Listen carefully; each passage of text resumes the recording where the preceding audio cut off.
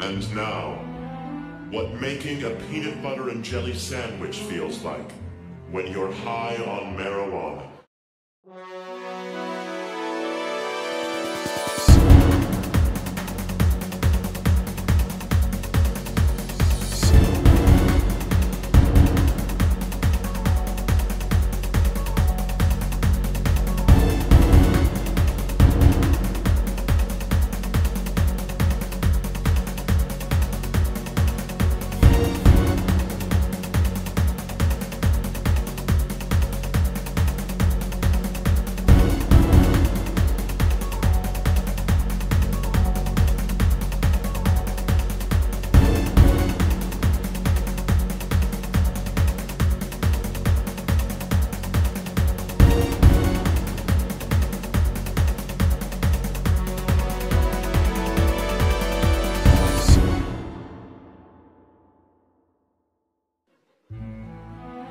And now, what making a peanut butter and jelly sandwich feels like when you're shit-faced.